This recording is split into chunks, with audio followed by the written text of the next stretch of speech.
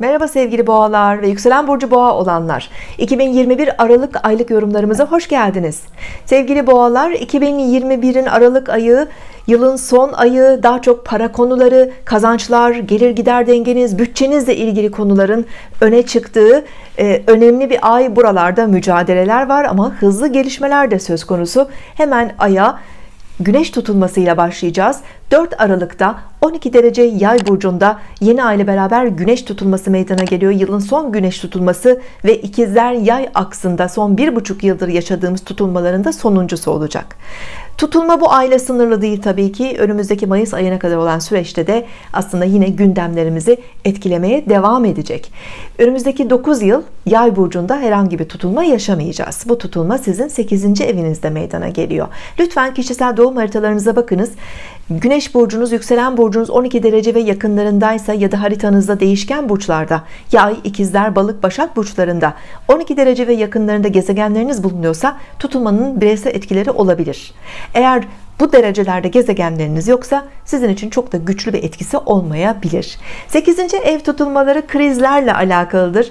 Ee, özellikle tabii ilişkilerle ilgili konuları daha çok aktifleştirir. Hayatımızda maddi konular finansal paylaşımlar eşimizin kaynakları ortağımızın parası borçlar krediler alacak verecek konuları miras sigorta gibi konular e, ya da e, belki bir burs konusu ya da bir tazminat konusu bu tutulmayla beraber e, gündem yaratabilir. E, daha önceden başlamış bazı konularında bir yeni aşamaya taşındığını da görebiliriz aslında. Bunlar 6 ay öncesindeki bir konu da olabilir örneğin ya da geçtiğimiz yıl sonunda meydana gelen başlamış olan bir konu da olabilir.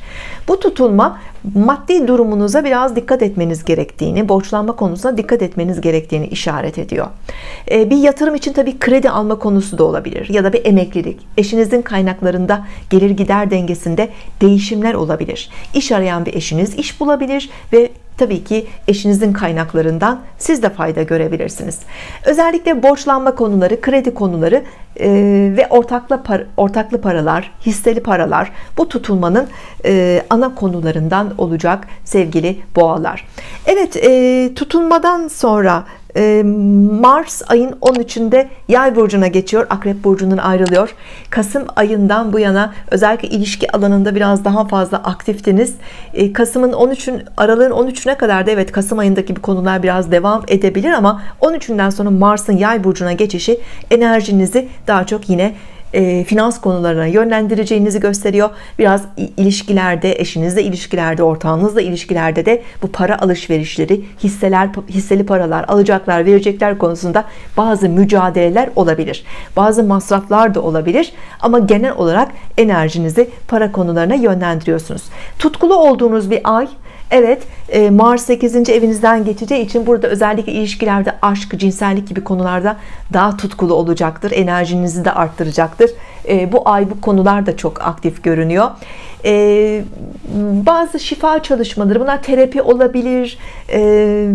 Bir şekilde bir sağlık sorununuzun şifalanması için bir ufak tefek ameliyatlar, operasyonlar olabilir. Bu gibi konularda aktif. Bunları da dikkate almakta fayda var. Yine bir tutulma etkisi olarak. Evet ve ayın 19'unda İkizler Burcu'nun 27 derecesinde Dolunay meydana gelecek. Para alanınızda e, ve bu Dolunay bazı hedeflerinize size ulaştırabilir. Çünkü Jüpiter'in de güzel bir etkisi var. Dolunay daha kısa vadeli tutulmayla kıyasladığımızda hani bu ay içerisinde etkilerini görebileceğimiz bir durum. Ee, örneğin çalışmalarınızdan bir para bekliyorsunuz. İşte e, bu paraya kavuşabilirsiniz. Bir e, maaş zammı e, bekliyorsunuz. Evet parasal durumunuzda e, yine bu haberler gelebilir. Gelirlerinizde artışlar olabilir ya da bir iş beklentiniz var. Bir işe girme e, sonucu para kazanmaya başlayabilirsiniz. E, sahip olduğunuz e, paranızın, mal varlıklarınızın, genel değerlerinizin e, biraz daha artması, bu anlamda bazı maddi hedeflerinize ulaşmanızda mümkün görünüyor bu dolunayda. Alışverişler de olabilir tabii ki, harcamalar da olabilir.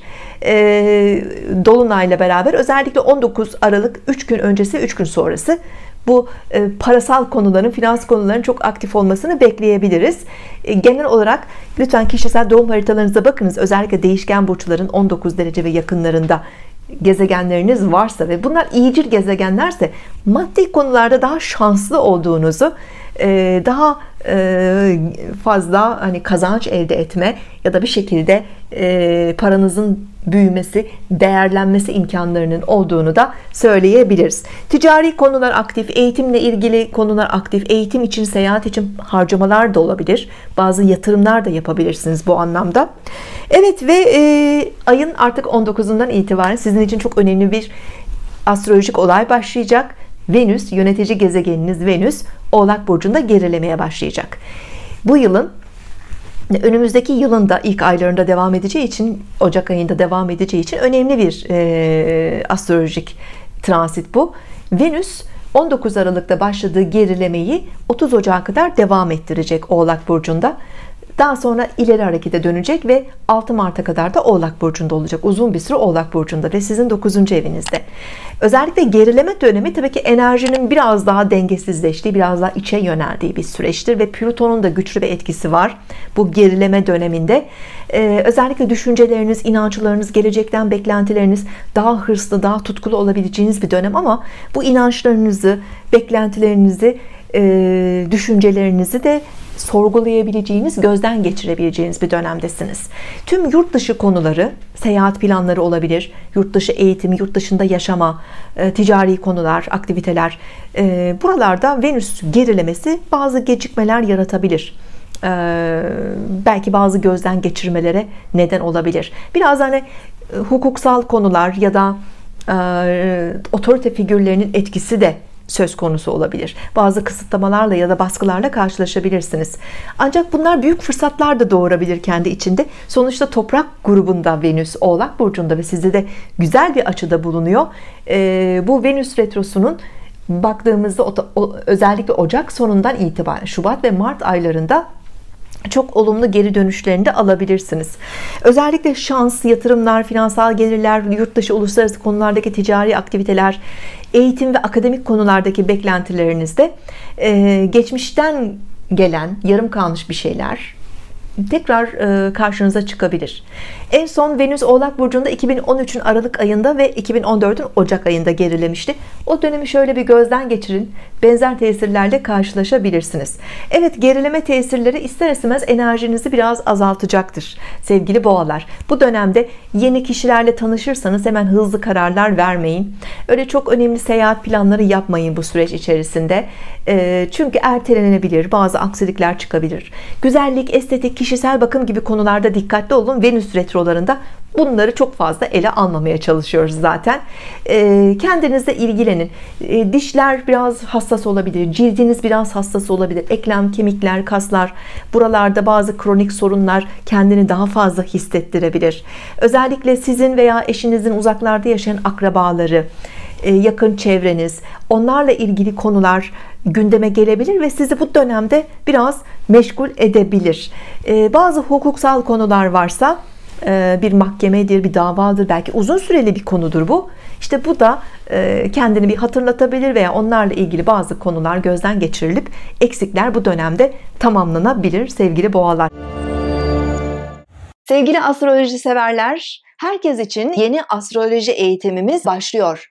Siz de astroloji ile ilgileniyor, takip ediyor ve rehberliğinden yararlanıyorsanız ve öğrenmek istiyorsanız sizi de eğitimlerimize bekliyoruz. Astrolojiye ilgi duyan, takip eden, rehberliğinden faydalanmak isteyen herkes temel ve orta seviye astroloji eğitimlerimize katılabilir.